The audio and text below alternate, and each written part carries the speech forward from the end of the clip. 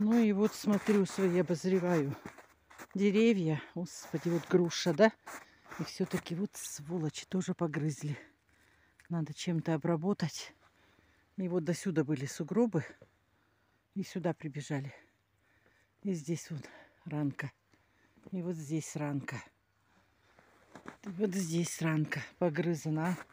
Уж такие вроде большие стволы уже и все равно грызут. Они любые, наверное, грызут. Тут вроде нормально. Ну, вот тут тоже погрызано. Вот. Ой. Все жалко. Настолько все жалко, что просто... Так, чем обработать товар какой, да? Надо домашними-то условиями какие. Не побежишь же вар покупать, у меня его нет. Может, домашних, домашним каким-нибудь, чем-нибудь средством. Марганцовкой, так, наверное, не надо. Слабым, может, дегтем тем же обработать. Дегтем, наверное, разведенным обработаю, да? Подскажите, пожалуйста. Так, вот палочки еще сделала.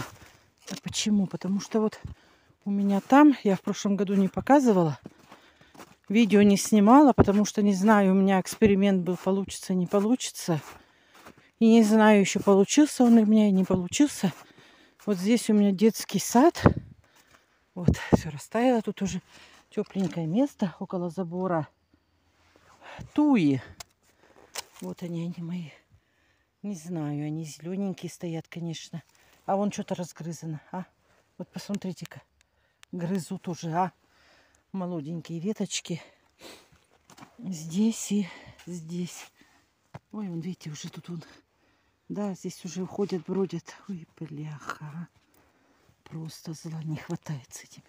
Сейчас сюда тоже воткну и еще пролью березовым дегтем раствором. Веточку у меня муж принес. Вон, видите, грызут. Вот просто грызут. Отгрызают молоденькие. Вон что делается. Веточку принес и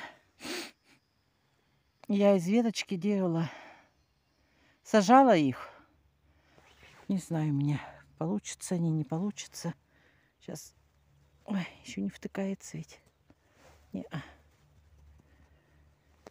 Ладно, пускай так рядышком пока хотя бы стоит.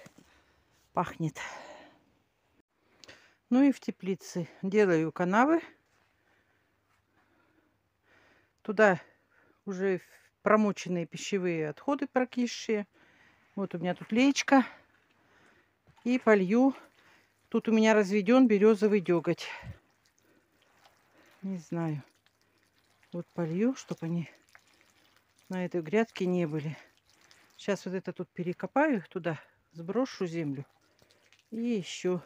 Так, а вот у меня мелиса здесь пошла уже в тепличке. Я ее тут оставлю, потому что она же тоже как антисептик, она же тоже э, обладает каким-то э, зап запахом для невкусно, для кого-то там его не устраивает этот запах. Так что ж оставлю.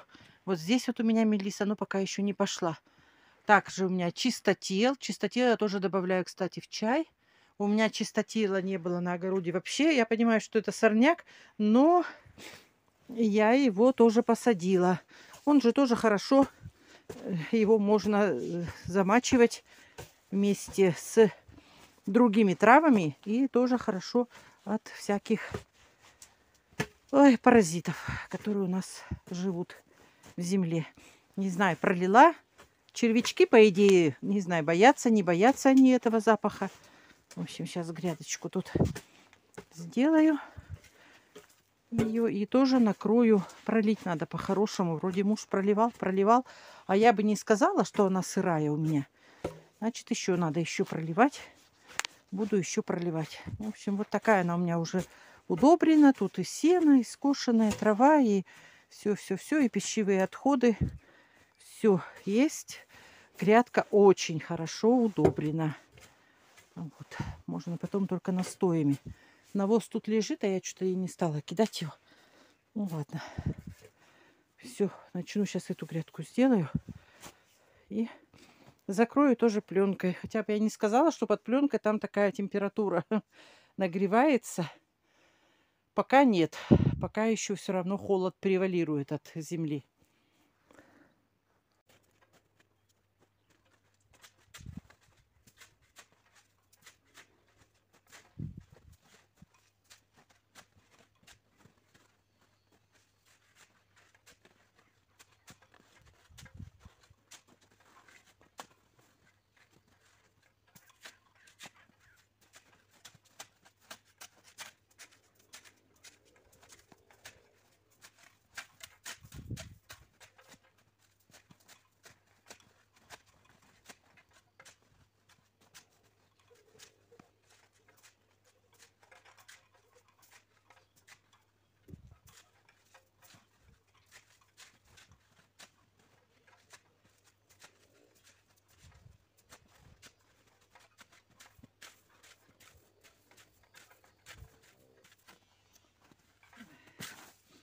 Нарыли.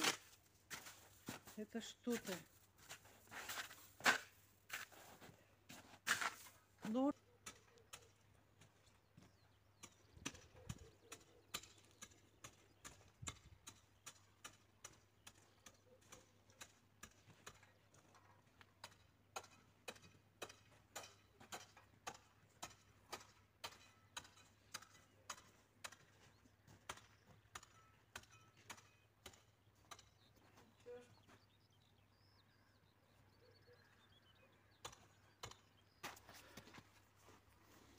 Ну вот, немножко разгребла, снег быстро тает.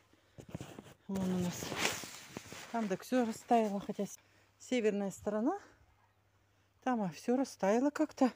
От забора и дом, наверное, так поэтому тепло идет.